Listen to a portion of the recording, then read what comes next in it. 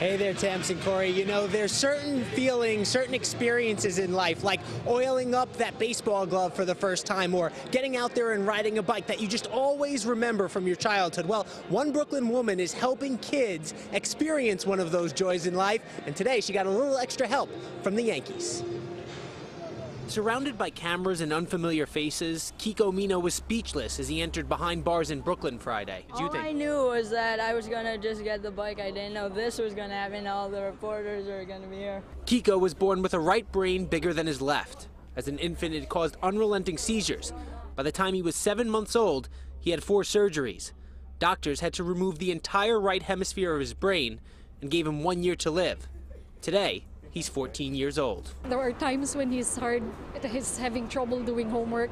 My husband would say, let's take this um, with a grain of salt because every day is like a bonus. Now, thanks to the help of Sandra Alfonso and her nonprofit Adaptability, he'll be able to experience the joy of riding a bike.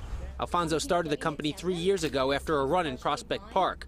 During that run, she passed two children, one on a bike, the other in a wheelchair. The kid in the wheelchair was looking at the kid in the bicycle screaming how fast he was going.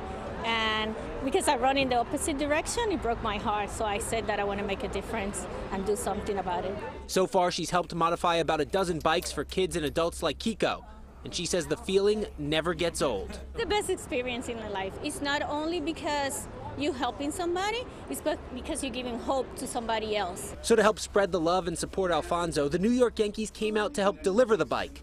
Outfielder Cameron Maybin took Kiko out for his first ride. We're gonna go up. And Yankee infielder DJ LeMahieu says riding a bike is a childhood memory every kid deserves to experience. I lived in a neighborhood where I biked out to all my all my buddies' houses, so a lot of memories on a bike for sure. It's a, it's a really cool week for a lot of a lot of people around the area, and um, you know we don't get a whole lot of opportunities to help um, people, but but when we do, it means a lot, and um, just glad that everyone on our team can be a part of, of, of something. What do you think about the New York Yankees riding you around here on the bike? It's amazing. In the neighborhood, he sees children biking and he just looks at them.